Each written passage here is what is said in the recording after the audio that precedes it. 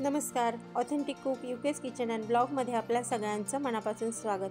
थंडी म्हटलं तर कंबरदुखी सांधेदुखी लगेच जाणवायला लागते. यावरचा रामबाण उपाय आपण आज घेऊन आलो आहोत. पौष्टिक ड्रायफ्रूट लाडू. हे लाडू आपण गूळ आणि साखर काही न वापरता करणार आहोत.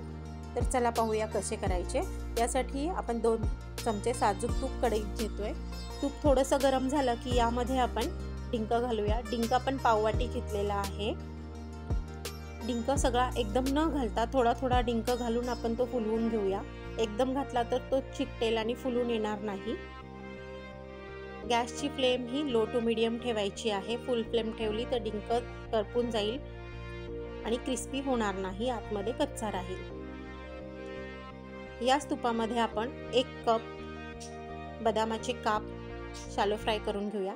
तुम्ही एक कप पण घेऊ शकता किंवा एक तुमच्याकडे जी अवेलेबल असेल ती वाटी तुम्ही वापरू शकता. परंतु सगळ्या साहित्यासाठी एकच वाटी वापरा. आपले बदाम व्यवस्थित भाजून झालेले आहेत. आपण त्याला बाजूला काढून घेऊया. आणि थोडंसं तूप ॲड करून त्यामध्ये आपण काजूचे तुकडे शालो फ्राय करून घेऊया. काजूचे तुकडेही एक कपच घ्यायचे आहेत.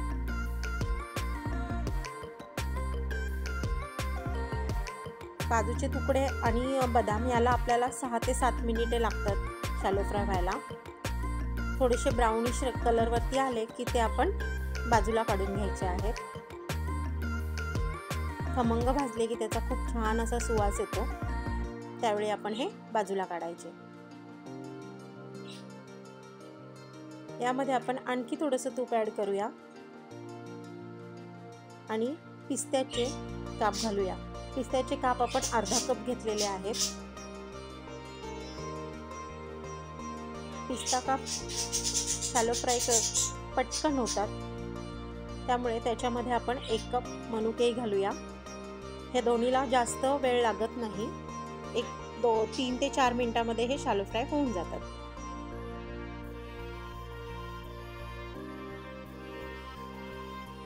हे शालो फ्राय झालेले आहेत. आता आपण हेही बाजूला काढून घेऊया.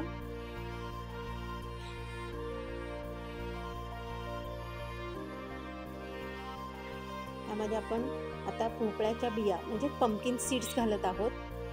पाव कप घेतलेल्या आहेत आपण ह्या.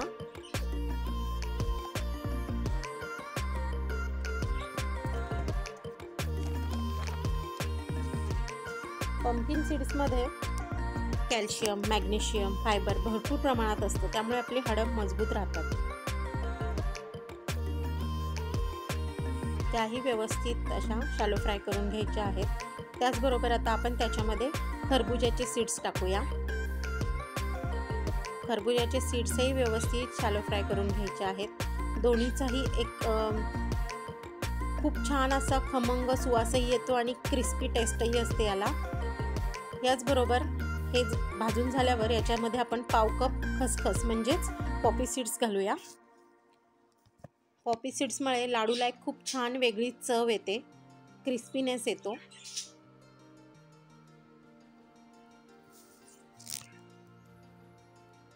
हे झाल्यानंतर आपण यामध्ये दोन कप सुक्या खोबऱ्याचा किस घालूया.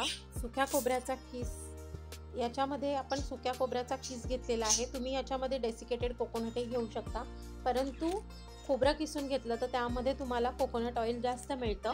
ते डेसिकेटेड कोकोनटमध्ये मिळत नाही. त्यामुळे आपण इथे किस वापरलेला आहे. तुपामध्ये खोबरं व्यवस्थित खमंग परतून घेतलं आपण. पुन्हा सगळ्या शेवटी आपण दोन ते तीन चमचे तूप घालूया.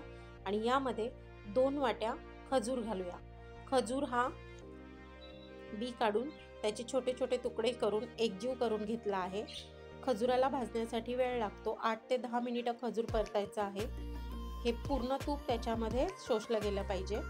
या संपूर्ण प्रक्रियेसाठी आपण साधारण दीड ते पाऊण वाटी तूप वापरलेलं आहे. इथे फक्त गाईचं साजूक तूपच वापरायचं आहे. डालडा नाही. खजूरही आपला व्यवस्थित भाजत आलेला आहे. छान परतला गेला आहे. तर इतर साहित्याबरोबर आपण खजूरही काढून घेऊया.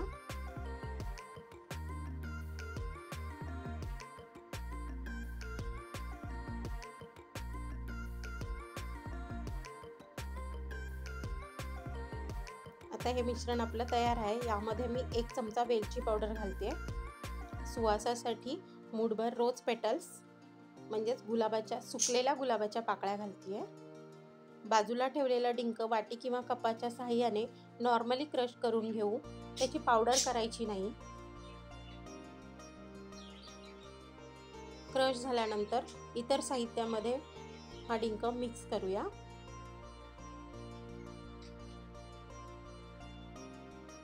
आता हे मिश्रण व्यवस्थित मिक्स करायचे.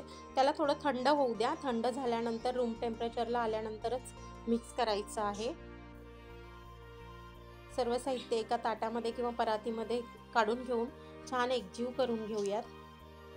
यामध्ये आपण नॅचरल स्वीटनर खजूर घातलेला आहे. त्यामुळे इथे साखर किंवा गुळाचा काहीही संबंध येत नाही. हे लाडू तुम्ही लहान मुलांपासून मोठ्यांपर्यंत सगळ्यांना देऊ शकता. सगळ्यांच्या उपयोगाचे आहेत. खास करून महिलांसाठी अतिशय पौष्टिक आहेत. मुलं तरी चार बदाम हातात घेऊन खातात किंवा आपण त्यांना जबरदस्तीने खाऊ घालतो. परंतु महिला हे कधीच करत नाहीत. त्यामुळे या पौष्टिक ड्रायफ्रूट लाडूची रेसिपी सर्व महिलांना समर्पित करते. रेसिपी आवडली तर नक्की लाईक करा शेअर करा आणि हो अजूनही सबस्क्राईब केलं नसेल तर लगेच करा. आपण पुन्हा भेटूयात एका नवीन रेसिपीसह ऑथेंटिक कुकमध्ये Thank you.